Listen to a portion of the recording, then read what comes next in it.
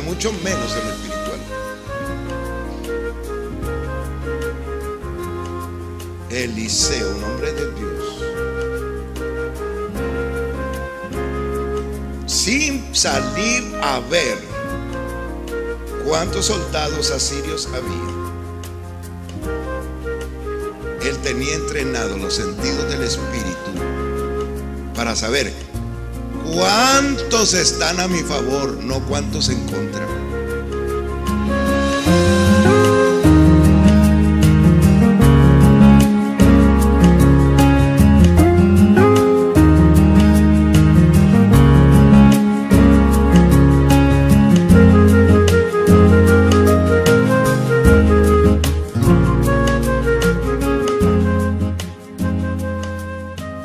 La preparación es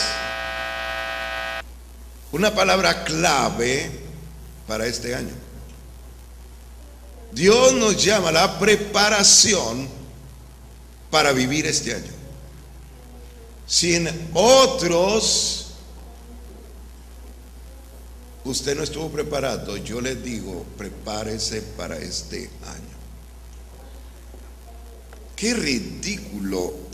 Y lo pasan por cada año por televisión. Vístase rojo y es no sé qué. Vístase de amarillo y no sé qué. Ponga un camaleón y le va a pasar algo bueno. ¿Y qué cosa hizo? Pobre camaleón tuvo que morir para darte suerte a ti. Eso no puede ser. Me acuerdo cuando los chicos de mi tiempo decían, Samuel, cuélgate esta colita de conejo. Y todos traíamos la pandillita colita de conejo. Y una vez le pregunté, ¿y esto para qué es? Porque yo quería ser parte del clan. Y esto es para la buena suerte. Y yo pensé, pobre conejo, ¿cómo va a traer suerte? Si él lo mataron, le quitaron hasta el rabo. Eso no puede traer suerte. Porque de alguna manera todos queremos prepararnos, pero lo hacemos tan ridículamente. Porque no estamos preparados. Estaba pidiendo un permiso hace mucho y llegaron dos familias. Una pidió permiso, la otra estaba sentada. El buen hombre, el oficial, le dice, ¿y ustedes no van a pedir permiso? Le dice a la señora, y dice, ay, ¿qué cree? Que no veníamos preparados ni traemos el pasaporte. Y dijo él, este era el momento. Jamás haces un oficial, pero no venían preparados.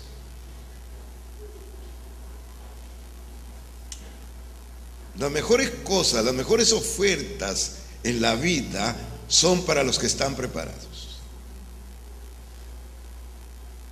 Ya que ninguno de nosotros ha transitado el 2018, entonces necesitamos prepararnos para saber la dirección. Vamos a leer Josué 3. Está al inicio, después de los cinco libros de la ley, cuando termina Deuteronomio, inicia el libro de Josué. Yo agradezco mucho a,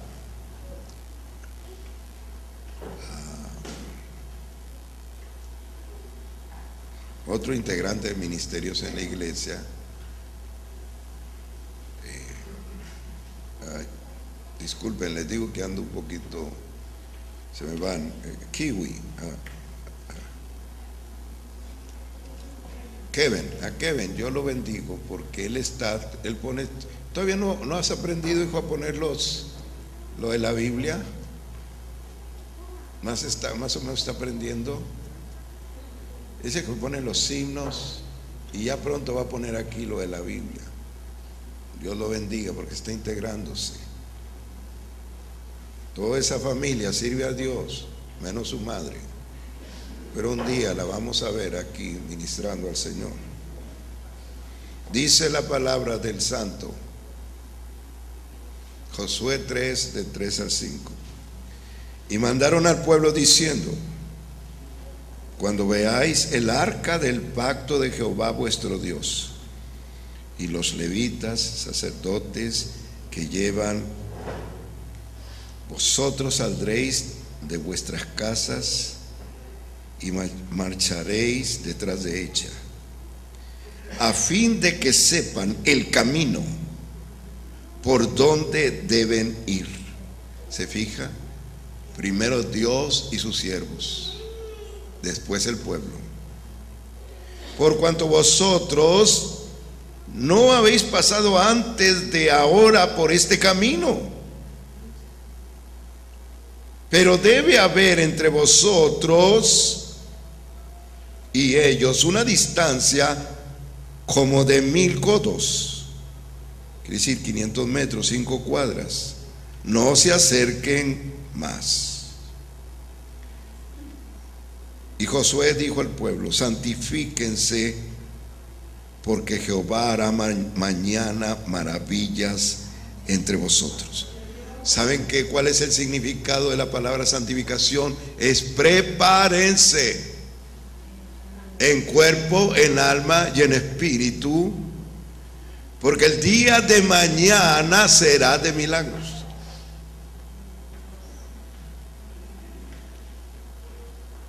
Dios habla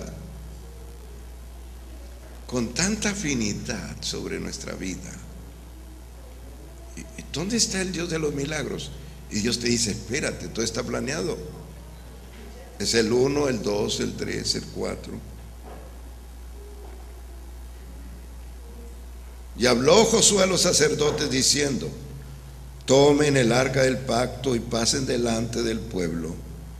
Ellos tomaron el arca del pacto y fueron delante del pueblo. Entonces Jehová dijo a Josué, desde este día comenzaré a engrandecerte delante de los ojos de todo Israel, para que entiendan que como estuve con Moisés, estaré, estaré también contigo. ¿Cuál es la diferencia? ¿Saben cuál es la diferencia? Preparación.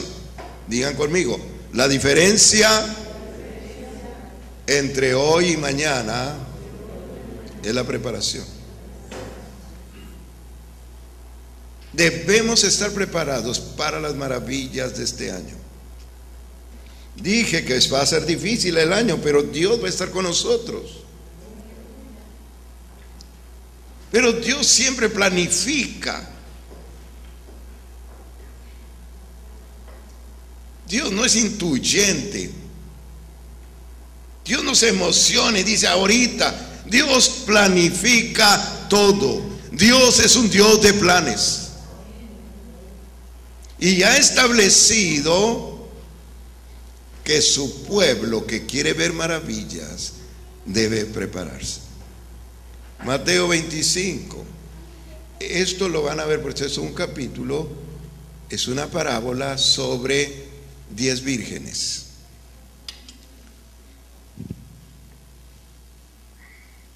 Diez vírgenes.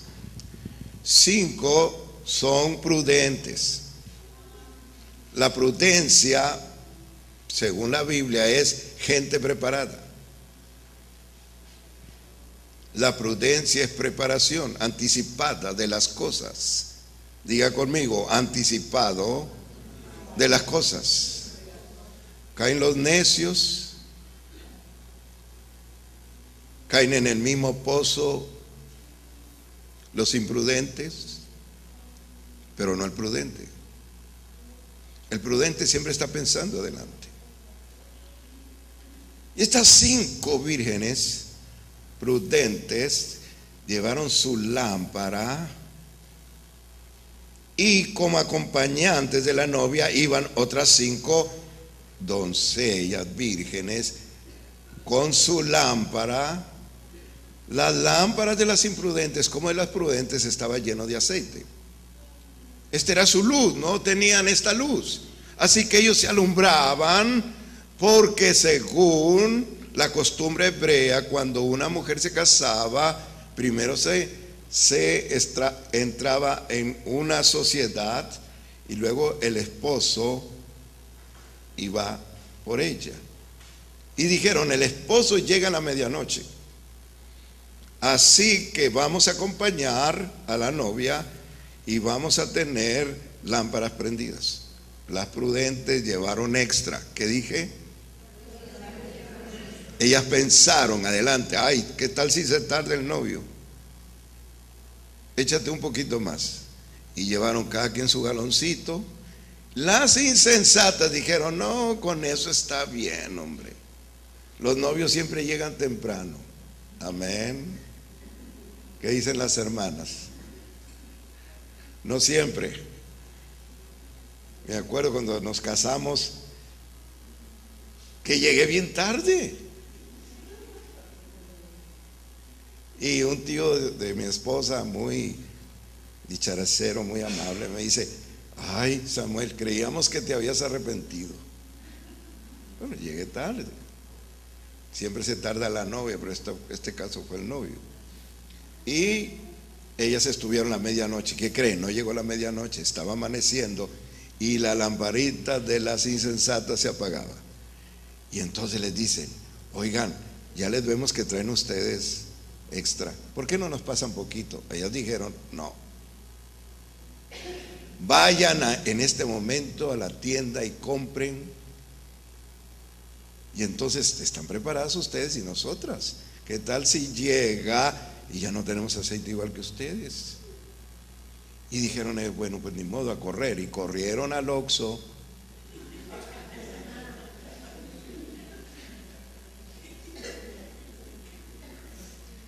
Todo se consigue en Oxo, hasta novio y novia. Todo se consigue en Oxo. Y compraron el aceite. Cuando regresaron, ¿qué creen? Dijo Jesús, el esposo llegó. Y nada más las que tenían encendidas sus lamparitas fueron en la procesión con la novia. Esa es la iglesia. Jesús estaba hablando de la iglesia. Jesús dice que hay dos tipos de personas en las iglesias. Las que tienen preparación y las que no le dan importancia a las cosas de Dios. Y que dicen, ahí se va. Amén.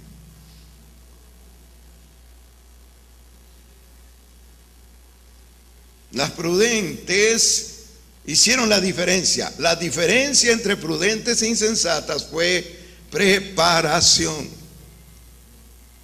La preparación en todo, en todo, no solo en la vida natural, sino también en la sobrenatural, marca la diferencia, la preparación. Hoy necesitamos gente preparada, gente calificada como guía no solo como guía de nuestra nación, sino como guía de nuestros hogares, de nuestras iglesias, de nuestras instituciones, gente preparada en la mente, en el espíritu humano y en su cuerpo. Eso es lo que Dios me dice.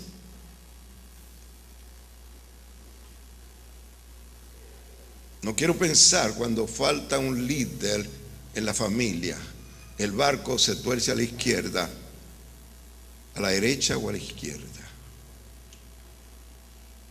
Necesitamos líderes fuertes. Esa es la primera. La segunda parte es la fe. La fe es un postulado esencial en nuestra relación con Dios.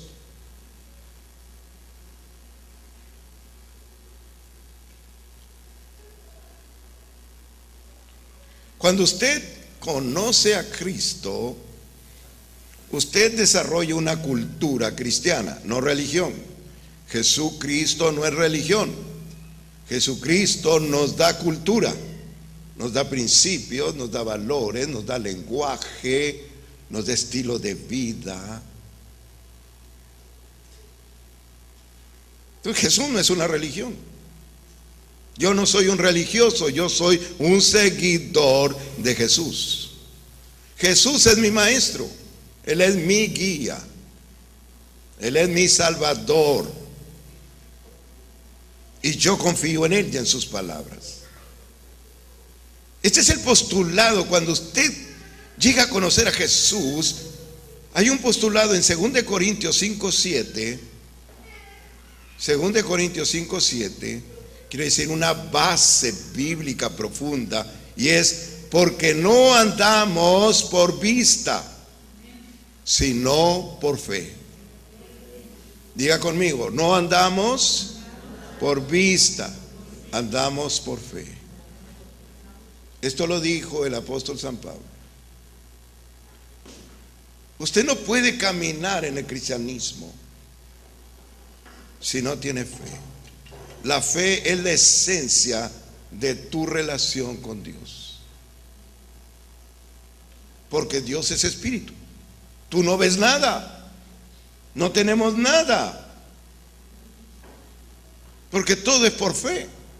Lo único que tiene el cristianismo es el nombre de Jesús. Dos, tenemos su paz. Y tercero, tenemos su gloria. Él lo dijo. Les dejo mi paz y la gloria que me diste la he dado a ellos, San Juan 17. Y nosotros tenemos el nombre de Jesús en nuestra mente y nuestros labios porque es la autoridad que tenemos para tomar control de las cosas en la vida natural. Muy bien, la fe es la esencia. Hoy estaba hablando en la mañana sobre un estudio que inicié sobre sanidad divina. Un postulado importante que deben aprender es que la enfermedad no es una bendición. La enfermedad es una maldición. Digan conmigo, la enfermedad no es una bendición. No viene de Dios. Dios no enferma a nadie. Hay muchos motivos por los que nos enfermamos. Causas naturales, enfermedad de emociones, que nos producen enfermedades psicosomáticas que son infundidas por la mente al cuerpo.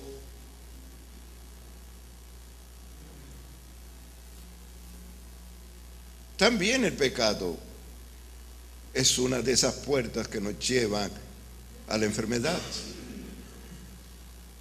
Pero no quien está enfermo es por el pecado. Son muchas las causas. Pero el deseo de Dios es sanarnos y destruir las obras del diablo. La Biblia dice que Satanás vino para matar, vino a hurtar y vino a destruir.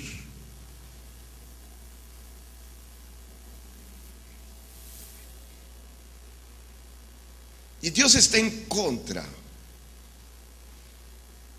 de que llames a tu realidad la verdad. Una es la realidad y otra es la verdad. Jamás la realidad es la verdad. Puedes encontrarte en un estado difícil. Esa es la realidad, pero no la verdad. La verdad es que tienes un Padre Celestial que puede cambiar esa circunstancia en cualquier momento. Pero cuando tú no te instruyes y no preparas los sentidos espirituales, porque nada más estás entrenando los sentidos temporales y carnales, entonces no puedes entender más que la realidad que te rodea. El no tengo dinero, no tengo trabajo, todo va mal. Eso es tu realidad, pero no es la verdad en Dios. Pero tienes que preparar tus sentidos espirituales, tus sentidos naturales perciben lo que tú ves. Y tú tienes que tocarlos para saber con certeza que existe. Pero los sentidos espirituales deben funcionar en la fe. La fe tiene su propia motivación en los sentidos espirituales. Y yo les digo, no lo sabrán cuando estén en el infierno. Jesús dijo sobre un hombre que miraba a los necesitados con arrogancia. Había entre ellos un hombre muy pobre y lleno de lepra. La lepra era una enfermedad, se los, la carne a pedazos, se va pudriendo. Estaba muerto en vida. Este hombre rico no le ponía atención a Lázaro. Lo miraba, le daba una limosna. Y una vez murieron, dijo Jesús. Uno, Lázaro, fue al seno de Abraham, el cielo. Y el otro fue al lugar de tormento. Para los que dicen que no hay infierno, Jesús dijo que hay un lugar de tormento. Y cuando esta persona estaba en el tormento, se acordó de que existe Dios. Primero quiso manipular a Dios diciéndole, tengo tanta sed, por favor envía al leproso Lázaro que venga y un poquito de salivita, fíjense, literalmente estoy hablando la Biblia, ponga en mi lengua porque tengo mucha sed. Dios le dijo, no, no, no, no, no estás en el mundo. Allá podrían manipular, aquí no. Es más, hay una cima donde ni pasa él ni pasas tú. Y entonces le dijo, bueno, manda a alguien del cielo para que le diga a mi familia que esto es real. Y le dijo Dios, tampoco yo me dejo manipular. Allá tienen a Moisés y los profetas que les crean a ellos.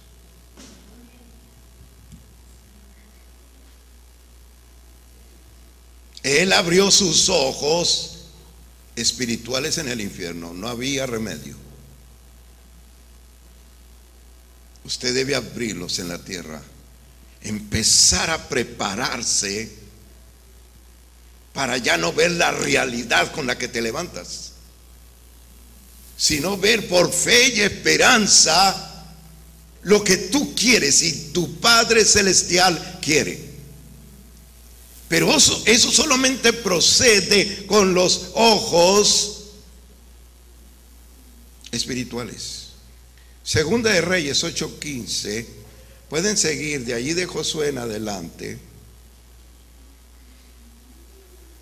Voy a hablarles la historia de un profeta, el profeta Eliseo, un hombre maravilloso de Dios, extraordinario. Este hombre de Dios tenía una conexión con Dios las 24 horas del día a mí me llama mucho la atención de Eliseo, porque es un hombre conectado con lo sobrenatural y con lo natural al mismo tiempo. Escuchen la lectura. Y se levantó de mañana y salió el que servía al varón de Dios. Él tenía un sirviente que se llamaba Giesi. Y he aquí el ejército tenía sitiada la ciudad. Tenían gente de a caballo, tenían carros. Entonces su criado dijo, ah, Señor mío, ¿qué haremos? ¿Saben cómo se llama eso? Realidad. Eso es realidad. El siervo, aunque trabajaba con un hombre de Dios, no tenía preparación para ver lo sobrenatural, nada más lo natural. La palabra A es un hebraísmo. Quiere decir que él no dijo nada más A. Quiere decir que él hizo un, una algarabía, como una canción de lamento. No sé cuántos minutos estuvo cantando de dolor. Eso es lo que indica el pasaje. Eliseo lo detiene y le dice, no tengas miedo, porque más son los que están con nosotros que los que están con ellos. ¿Ve usted dos dimensiones? La natural y la sobrenatural. No cualquiera mide lo natural y mucho menos lo sobrenatural. Yo le pregunto a usted, ¿usted mide sus enemigos? ¿Puede decirme ahora mismo cuántos enemigos tiene? Entonces, si no lo sabe, mucho menos en lo espiritual. Eliseo, un hombre de Dios, sin salir a ver cuántos soldados asirios había, él tenía entrenado los sentidos del espíritu para saber cuántos están a mi favor, no cuántos en contra. Y en la realidad, lo que queremos saber es qué tengo en contra. A ver, ¿cuántas enfermedades, doctor? Búsquele, búsquele, a ver cuántas. Enemigos siempre buscamos. Dios jamás te va a hablar de enemigos, Dios te va a hablar de cosas a favor tuyas. La gente necesita para vivir una vida más cómoda y de sentido en la vida escuchar más a Dios. La realidad siempre te humillará y te preocupará, pero no Dios. Dios tiene un mensaje diferente. Todos los que estamos aquí de alguna manera hemos tenido un encuentro con Dios donde Dios ha cambiado esa tristeza por enfermedad y nos ha dado la victoria. Yo soy testigo de eso. Dios ha trabajado tan maravillosamente para ayudarnos a prepararnos y a movilizar nuestros sentidos espirituales para ver no la realidad, sino las maravillas que Dios va a hacer. Una vez me dijo una hermana, ay pastor, ore por mí porque sueño puros diablos. Y digo, ¿cuántos años tienes de convertida, hija? Ay, como unos 10. No, hombre, y era para que soñaras ángeles porque puro diablo.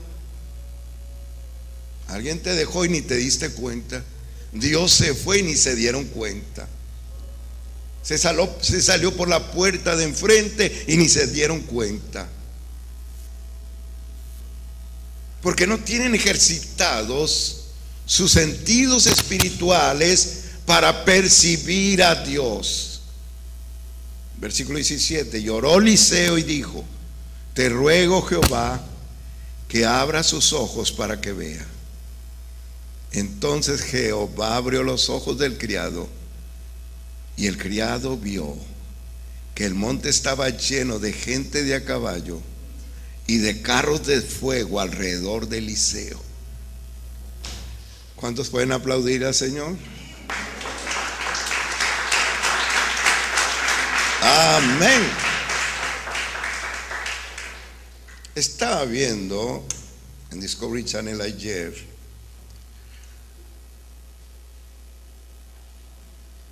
la guerra de los siete días. 80 millones de árabes contra 3 millones de judíos. le llaman también la guerra de Yom Kippur.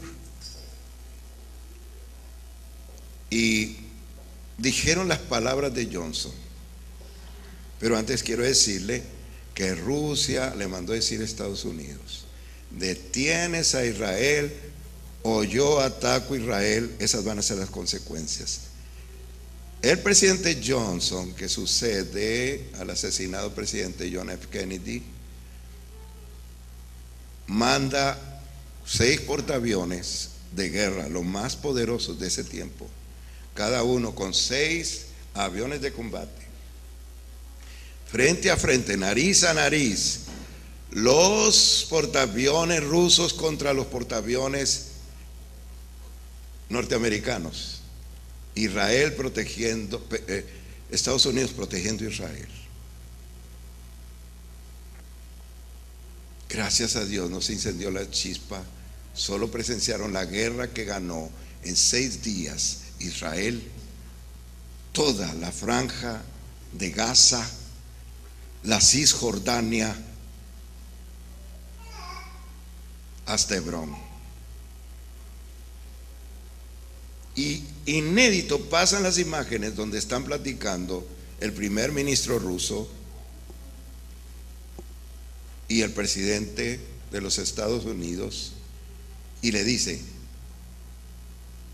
¿qué me puedes decir de esto? ¿Por qué apoyó Estados Unidos a un territorio? ¿Por qué, hijo? ¿No se oye bien este? Bueno, ¿sí me escuchan bien?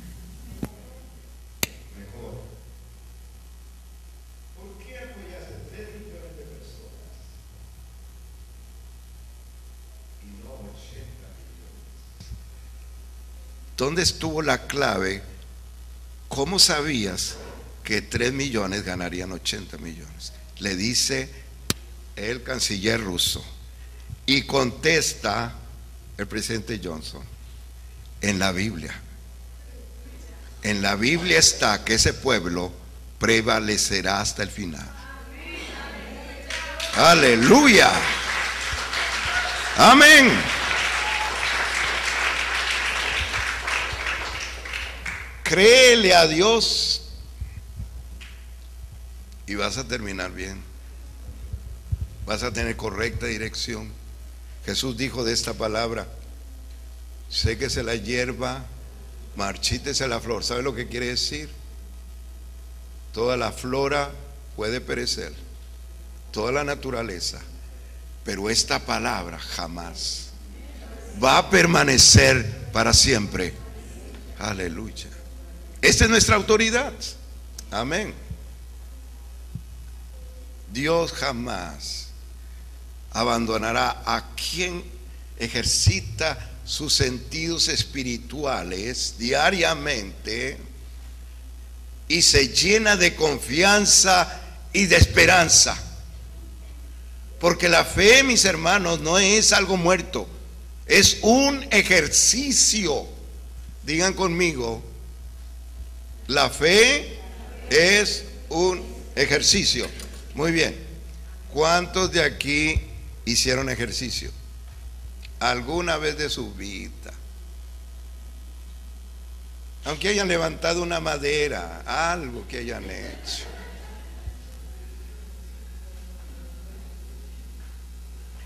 ¿Cuántos fueron deportistas aquí?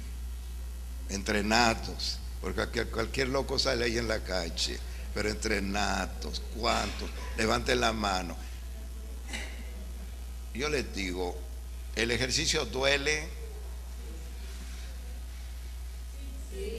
Pues claro, los que no hicieron ejercicio jamás, no les dolió nada, pero, ay, es una cosa bárbara. Duele hasta las pestañas.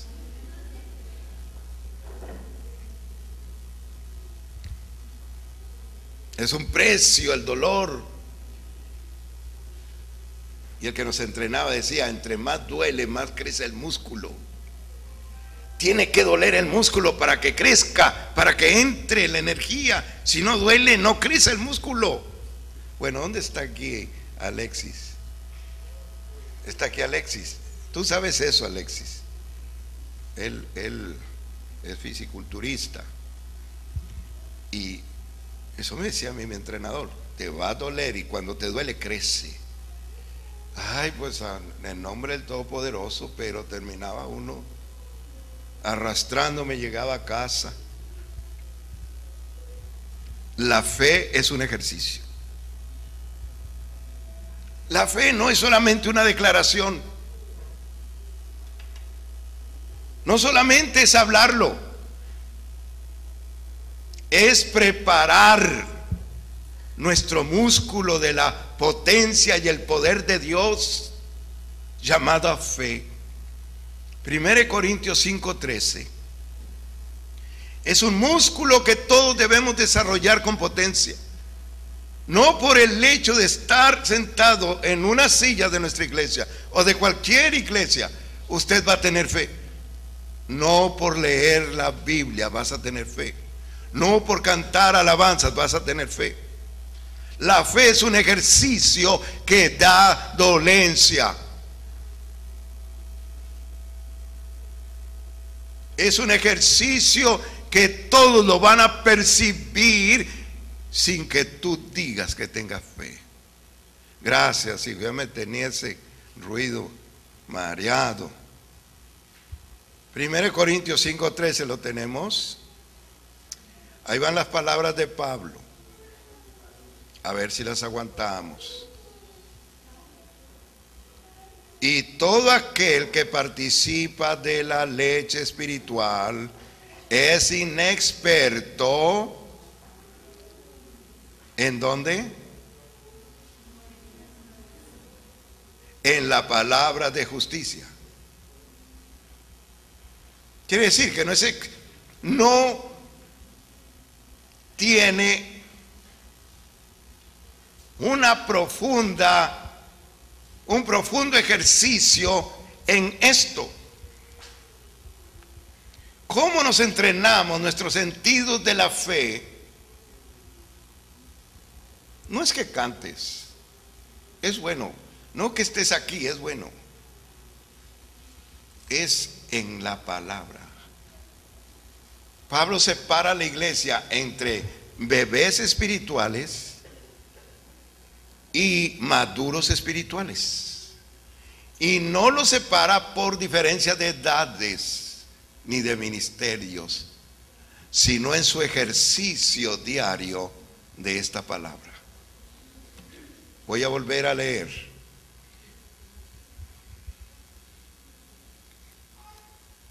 Y todo aquel que participa de la leche es inexperto en la palabra de justicia inexperto. Hace muchas cosas espirituales, pero es inexperto, porque no se ejercita aquí.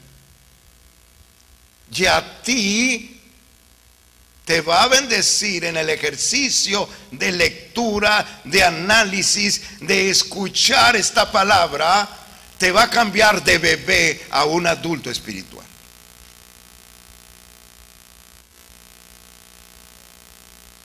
Es inexperto en la palabra de justicia, esa es la causa, porque es niño. Pero el alimento sólido es para los que han alcanzado madurez, para los que por el uso tienen los sentidos espirituales ejercitados y pueden percibir y discernir el bien y el mal. ¿Ven? La Biblia no se lee cada vez que me duele la cabeza. La Biblia no se lee cada vez que decimos al niño, váyase al cuarto castigado y lea la Biblia de castigo. La Biblia es un ejercicio diario que está dándole a mi fe un músculo poderoso y está cambiando tu posición de bebé espiritual a adulto espiritual. Los que ya pueden desarrollarse delante de Dios los que tienen temor a Dios y los que necesitan solo el Espíritu Santo para guiarse.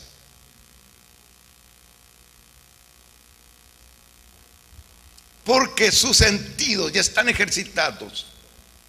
Esta palabra los prepara y les enseña a ir más adelante de las cosas que van a suceder.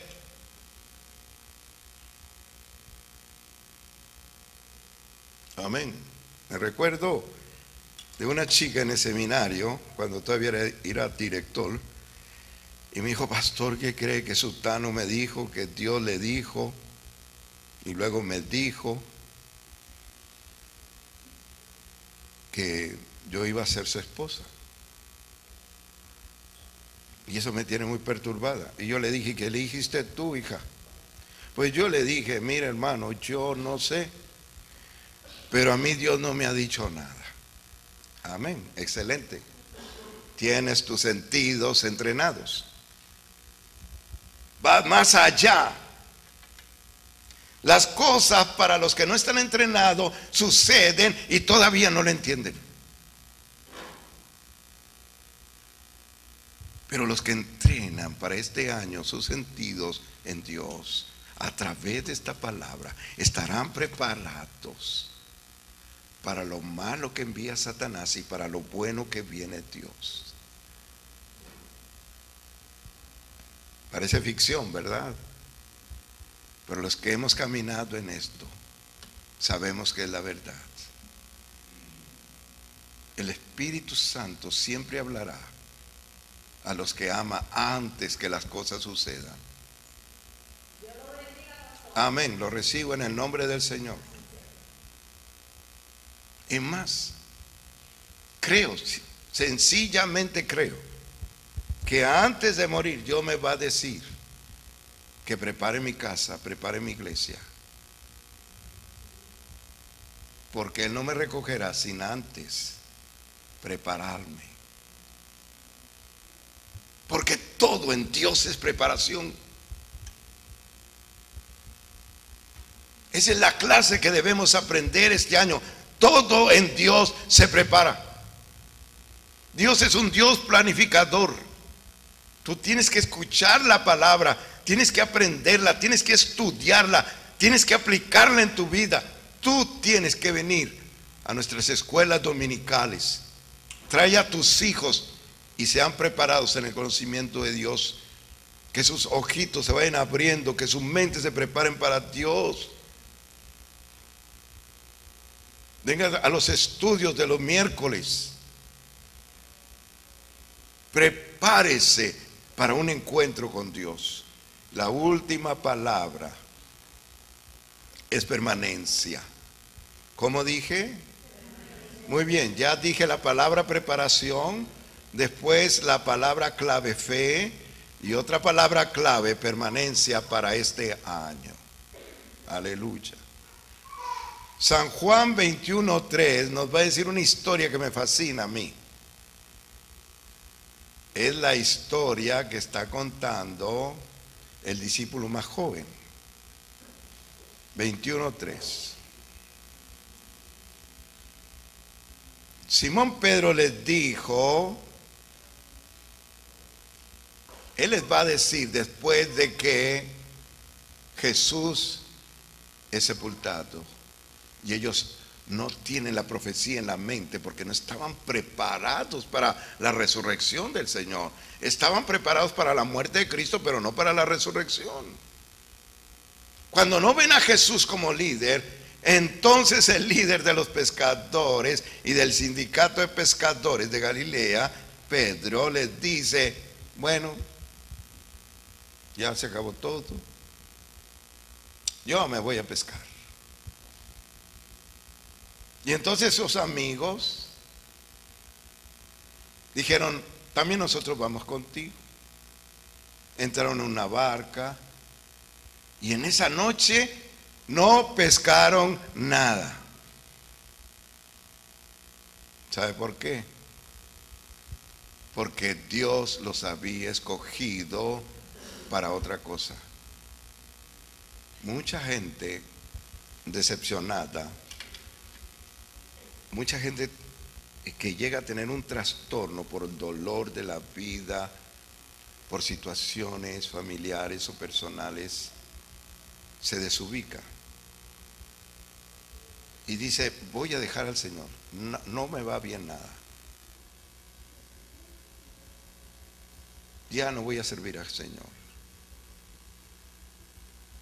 Se desilusionan por alguna cosa.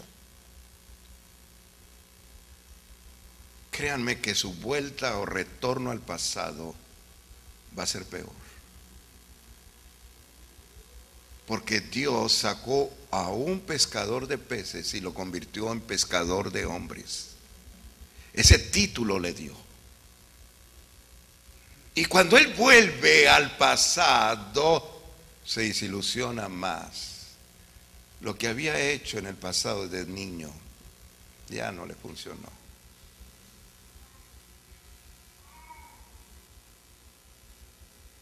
Y ahí se quedó la noche. A ver qué cae.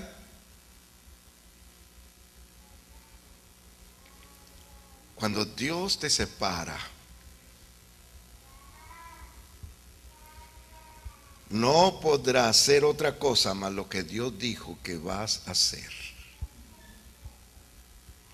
Versículo 4, cuando ya iba amaneciendo, se presentó Jesús resucitado en la playa, mas los discípulos no sabían que era Jesús.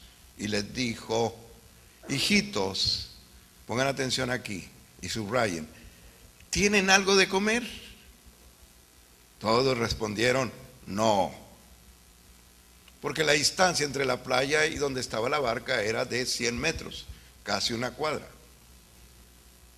Él les dijo, bueno, echen la red a la derecha de la barca y hallaréis. Rápido le echaron y no la podían sacar. Había una gran cantidad de peces. Entonces aquel discípulo a quien Jesús amaba, o sea, que es el que está escribiendo, Juan, le dijo a Pedro, es el Señor, Pedro. Pedro, cuando yo que era el Señor, se puso la ropa porque se le había quitado y se tiró al mar a nadar. Otros discípulos vieron con la vinieron con la barca arrastrando redes de peces, pues no distaba de tierra sino como cientos codos. Al descender a tierra vieron brasas puestas y un pez encima de ellas y pan. Jesús les dijo, traed los peces que acabáis de pescar. Simón Pedro, subió Simón Pedro y sacó la red a tierra, llena de grandes peces, 153 peces grandes. Y aún siendo tantos, la red no se rompió. Jesús les dijo, vengan a comer conmigo. Ninguno de los discípulos se atrevió a preguntarle, ¿tú quién eres? Porque sabían que era el Señor. Pedro dijo, ya me voy. Eso es lo malo. A veces el líder, un líder malo, hace malo a todos los que le siguen. Un padre, una madre, un hijo que está en Cristo y dice, todo me va mal, ya no voy a ir a la iglesia créanme que a ese líder lo van a seguir otros. Y tampoco van a tener suficientes peces. No importa que seas experto en lo que sea. Dios tiene el control de todas las cosas. Se quedaron allí. Yo les digo, cuando estén confundidos, no hagan decisiones, dicen los psicólogos. Y yo les digo esta, no, este día, manténganse en su mar, manténganse en su lago, sobre su lancha. Que muy pronto Jesús se aparecerá en tu vida. Pero no te salgas de tu casa, no dejes tu familia, no dejes tu trabajo, no dejes tu posición, Allí Dios te va a encontrar. Y tendrá sentido entonces la vida.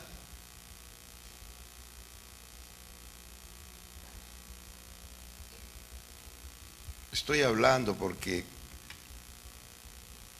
tenemos bastante gente que nos está viendo gracias al ministerio de Gerardo Junior por eh, Facebook.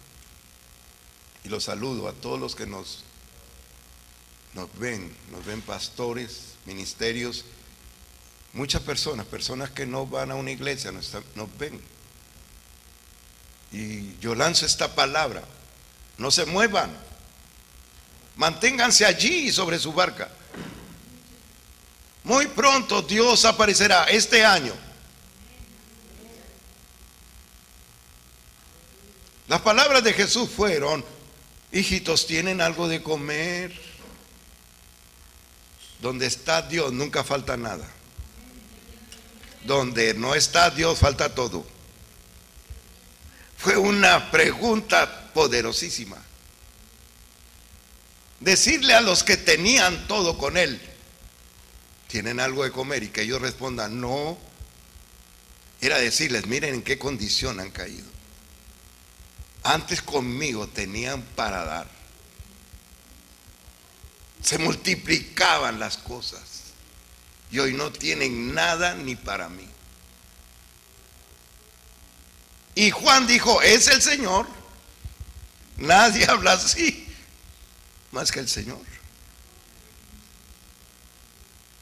Y aquí viene el Señor, la dirección para este año.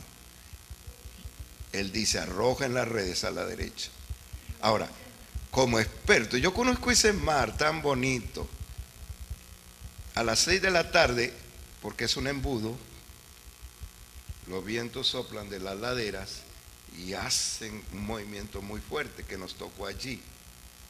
Y el pastor Noguerola me tomó la foto cuando yo venía caminando sobre la barca, al estilo de Jesús, en los tiempos de Jesús, y, se viene eso sobrando la barca y me y pone, él habla y dice, vamos al pastor Miranda caminando sobre las aguas del mar de Galilea, porque él me tomó hacia arriba, pero yo iba caminando sobre la barca de madera, pero se movía todo. ¿Ustedes creen que Pedro no sabía lo que era derecha?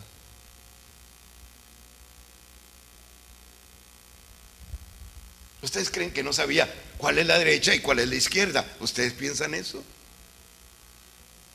Claro que lo sabía. Miles de veces lo había hecho. Allí mismo, en ese momento, lo había arrojado a la derecha, a la izquierda, atrás, al frente, al norte, al sur, al este y al oeste pero no está en lo que tú hagas. Está en el tiempo de Dios. Diga, en el tiempo de Dios.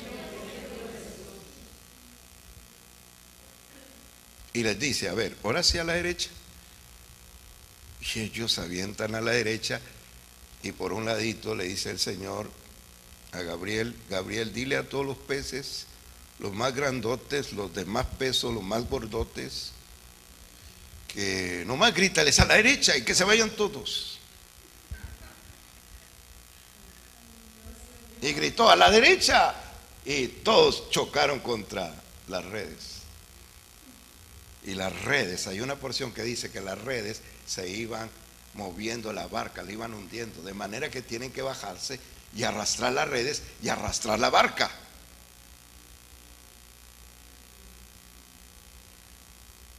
No es usted el que da indicaciones a Dios ni al pastor. Es Dios que a través del siervo les da las indicaciones a ustedes.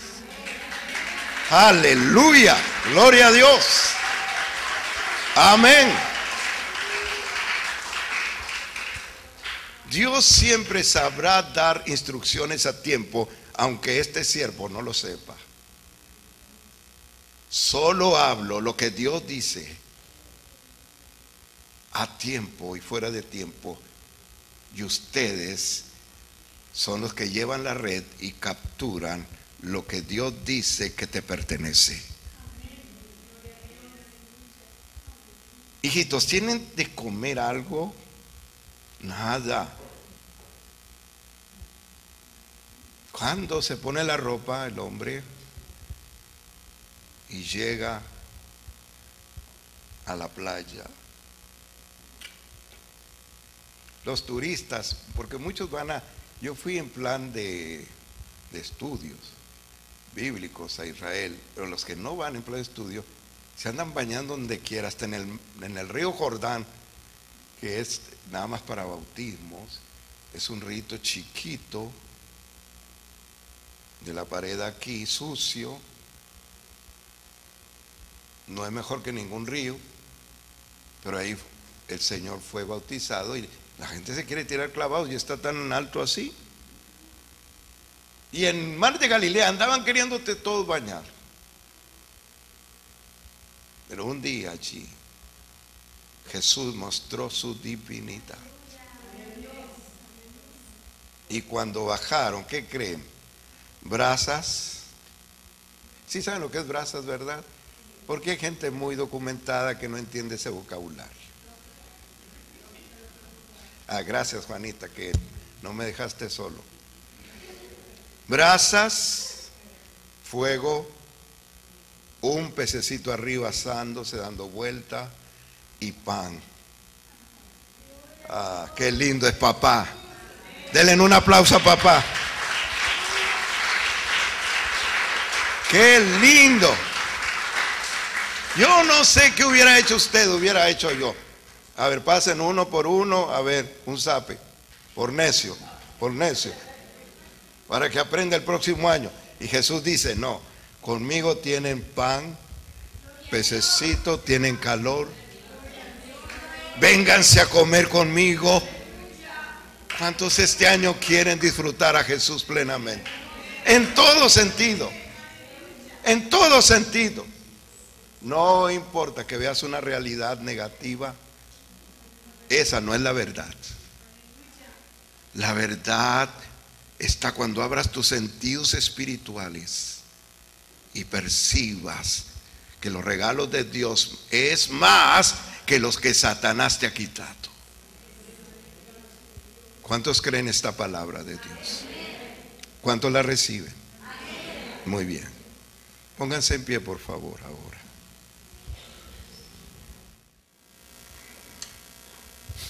Amado Rey Jesús, te damos gracias porque eres bueno. Grande es tu misericordia y tu bondad por generaciones. Llévanos a casa con bendición. Cierra los labios y confunde la mente lo que nos quiera quitar la bendición de este día. En tu precioso nombre, Jesús. El amor de Dios, la gracia de nuestro Señor Jesucristo y la comunión del Santo Espíritu sean con nosotros. Y el pueblo de Cristo dice, Dios les bendiga a todos. Salúdense en el nombre de Jesús.